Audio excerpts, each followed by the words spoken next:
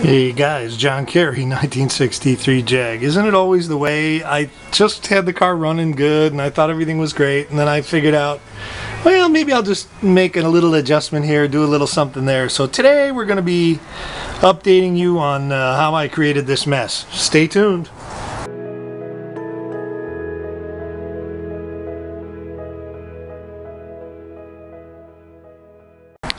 Well, it's not exactly a John Carey day today in Northern California, but it is warm. Uh, cloudy, little bits of blue showing through here and there, but uh, hazy, cloudy sunshine. But it's nice and warm here, and uh, Denise and I just got back from our vacation in Hawaii, so I'm all mellow and happy and relaxed, so that's all good news. And I'm uh, out in the shop here this afternoon after having uh, run a few errands. It's Friday today, and I uh, took the rest of the week off after our vacation so that I'd have a little time to play in the garage and get a few things done. So as you can see there, it's about 80, 80 degrees here in my shop at uh, 3.40 p.m. And I've been working on doing a couple of little projects. I uh, think I mentioned in the opening that uh, I had to tear my dash panel apart. And part of the reason was when I was driving, my daughter said to me, uh, the glass in your gauges is rattling and making noise.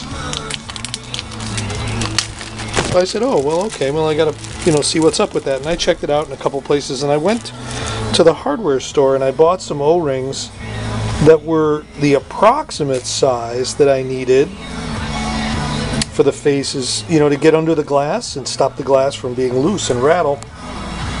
Because the original equipment on these Smiths instrument gauges is that they had put some kind of a caulking, I think, in the original uh, under the bezel between the glass and the bezel so that it would, you know, was pliable so it would squish and hold the glass tight, but over time they, they shrink and uh, decay. So I grabbed some little, you know, round uh, cross-section O-rings here that were about the right size. Some of them are a little bigger than others. It was the best I could do at Ace Hardware. They didn't have a lot of selection so actually these two are a little bigger and I thought well I could probably make these work.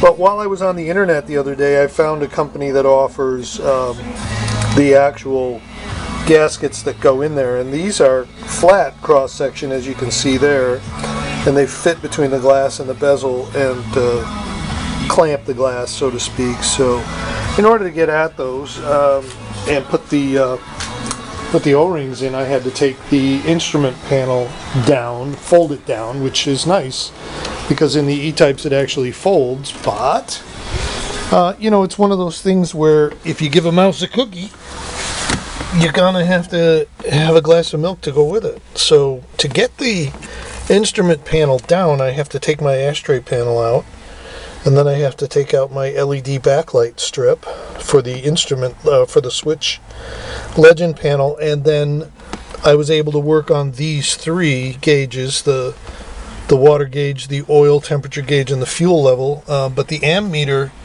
has uh, unfused or unswitched yeah I think unswitched and unfused uh, 12 volts from the battery right here on that brown wire. So we don't want to be grabbing our hands on that and pulling on it and doing all kinds of stuff with the battery connected.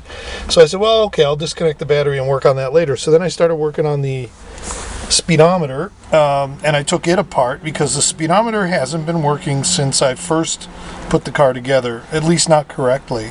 It goes up to about 30 miles an hour and then it stops working altogether and drops to zero. And uh, I think it's that the gauge is stuck or that the, sorry, the uh, I think it's that the uh, the drive cable that's inside the housing uh, is not uh, spinning correctly. At least that's the general theory. So I took it out, pulled the interior uh, of the speedometer cable out, the drive portion, lubed it up just a little bit. I didn't get crazy with it, but I put a little bit of grease on it and uh, ran it back and forth through the sheath so that it was nice and lubricated, and then stuck it back in there, and hopefully that will remedy my uh, speedometer woes. At least that's what I hope, and if it doesn't, then I'm going to have to buy a new cable, I think. And then the other thing I decided I would work on while I was here was the clock had stopped working for some reason. It worked for a little while and then it stopped, and I never really figured out why. I had it converted to a modern electrical uh, movement, so you just need to give it 12 volts and off you go. But I think I found out why, because it wasn't making good ground contact, so there was no electricity flow. We were just uh, putting 12 volts on the on the pin, but there was no there was no ground contact, so it wasn't going anywhere. So I remedied that, put that back together, and uh, I checked to see that both these glasses were tight, and they are because I had these two instruments rebuilt by a local repair shop, and they had put new rubber gaskets up inside, so all is good inside there. So uh, while I was fiddling around back there with the power going to the clock, I uh, didn't disconnect the battery and I buffed one of my fuses, so I'm gonna have to I'm gonna have to pull that fuse out and replace it. But no big deal. I've got spare fuses, so that's all good. And that's it. So now I'm going to get at this amp meter uh, one today. Uh, I've got to disconnect the battery first, and then I'll pull that one out put a gasket under the glass, put it back together, put in the fuse, and then I took off the. Uh, if you have never seen the dash panel uh, removed, here you go. This is a look at how my instrument panel looks when I remove the uh, the black cover, which I have done for the reasons that I needed to get behind the instruments here, and uh, it's a it's only four screws that takes this thing out, so it wasn't that bad, but it's a pain to get back in because the uh, vent hoses get stuck and uh, doesn't always let you put it back together easily. So uh, yeah, and I had to take the bottom off over here and took the bottom off over here. so the interior is kind of pulled apart. But anyway, we'll get back to work and I'll bring you back when I get some more done. Hey boys, John Carey, 1963 Jag. There's Bettie. I um, ran a little video the other day getting ready, but uh, lost a couple days. I was going to finish something up over the weekend, but I didn't get it done. So uh, I got the dash top back on there, and I got all the gauge glass uh, seals put in and uh, reconnected. And so I think uh, everything's good. And my uh, anyway, my belief is that everything's good. So we'll see how things are going, but it looks like it's working, you know. So I took it out of the garage today. Had to get some supplies out of this corner over here, so I backed it out and just drove it around a little bit. It's run good. Started right up. Everything's good. A little dusty, as you can see. Got to get the baby dried, dusted off. I haven't really washed this car since I had it put back together and painted and everything. I just uh, I use like a little bit of a spray bottle with some. Uh, really gentle car wash detergent in it and I just spray it and wipe it off with uh, these uh, yellow uh, microfiber towels and just get the dust off it. So that's what I've been doing since I got it back. I suppose if uh, I drive it in a mud storm or something I'll have to get some water on it but right now uh, kind of still protective of it. So not too much else going on in the in the John Carey garage this this week. I I will I will say we have a beautiful, beautiful, beautiful day today. It's 80 degrees out, beautiful sunshine, absolutely perfectly clear blue sky, not a cloud to be seen, horizon to horizon. And, uh, well, now I lied. There's a couple of little whispers down there, isn't there? Yeah, there's a couple in that direction, but uh, they really have had no effect on the weather today. It's just gorgeous. Dry, calm, you know, really, really lovely. Just a tiny little breeze keeping things from getting too hot. And uh, yeah, we're still having a terrible drought here, so rain would be welcome, but we haven't had any, so I don't know what's going to happen there. So anyway, just been, uh, what have I been doing? I pulled out some parts that uh, I have left over from my project that I know somebody might want to buy. This is an intake manifold for a 4.2 liter Jag engine. Uh, that has the triple carbs on what they call the log intake. It's all one great big long piece. Where my motor had the three individual small two barrel manifolds, so they uh, they're different, and uh, those two are not exactly the same. So you don't want to use one for the other. I mean, you could. As it turns out, my engine's a 4.2, and I put the triple carbs on it. You just have to fill a couple of uh, uh, water jacket holes with some uh, freeze plugs, which I did, and uh, that worked out fine. Looks great. Nobody'd know the difference if I didn't tell them. So everything else is good. I've been watching a lot of videos. You know, uh, it's really fun watching Greg make progress on the guitar. uh, Gary and uh, and Matt making progress on the Turbo Cobra coming back together.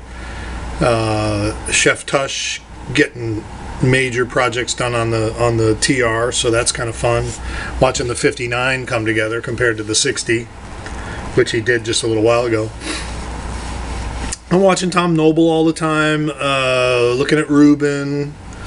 Uh, what else? Uh, I've been doing. Uh, I've been catching up on backyard. Uh, uh, well, it's now called the Railroad, right? The the Redneck Railroad channel. Watching Stan and and his son Ryan get some stuff done.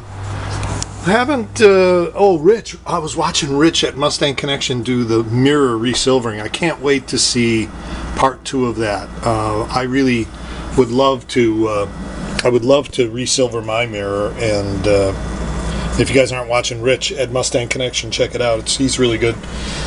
And uh, Cecil hasn't done much lately. Cecil Prater, he's kind of you know dropped off. I think business work stuff you know drives you crazy. John Varney told us that uh, he was out of uh, time to do stuff. He had to sell his house and get it ready, junk like that. Uh, yeah, what else? We have never, haven't seen John sign the Times. He's disappeared. Uh, I'm watching. Uh, is it Steve? I think it's Steve from In Debt for Kids. Uh, been watching him. Ooh, I saw that Corvette that, uh, or the Stingray that uh, Rich put up. Holy cow! 454 motor, straight pipes. Woo!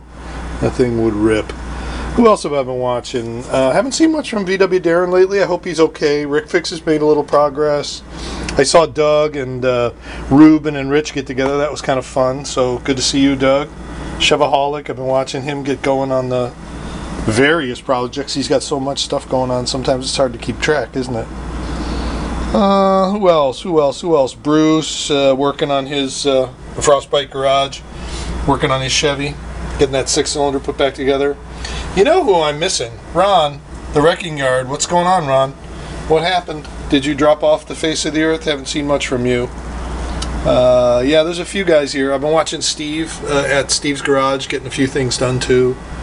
And, uh, you know, we don't know Dan Electro 68. Neil, what's going on, buddy? You got anything going on? Just make a video. Say hello.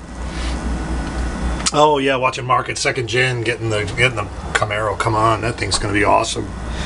Really, really cool. A lot of fun watching all this stuff. You know, Reaper. I haven't seen much from Reaper lately.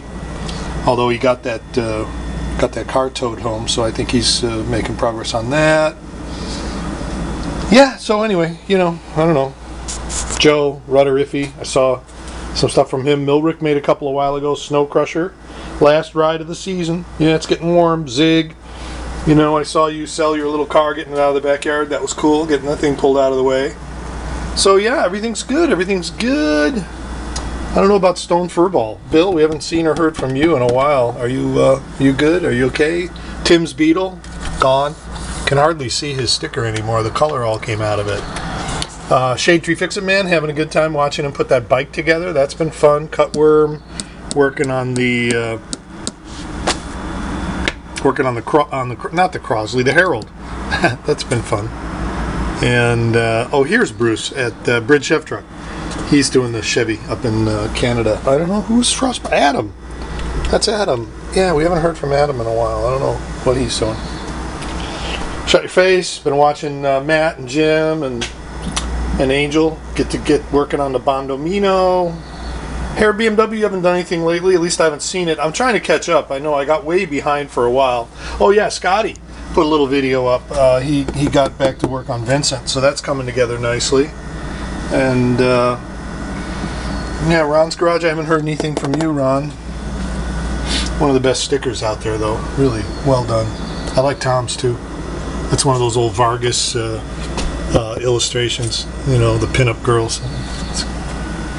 Looks nice. Okay, boys. So anyway, not much else from me. Just you know, my bench is clean.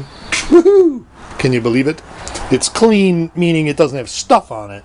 It's not clean, meaning it's not covered in junk. But you know, I've had the habit of putting cardboard on it for a while to just absorb the gush and goo and pounding that the bench top gets. I might put some masonite on it too, just to get a real smooth, new, smooth surface. That's it from me at, uh, you know, John Carey, 1963 Jag, telling you guys, have a nice day. 80 degrees in California. Can you see it? No, too much sunshine. There we go. Too much sunshine. Sorry, guys. Bye.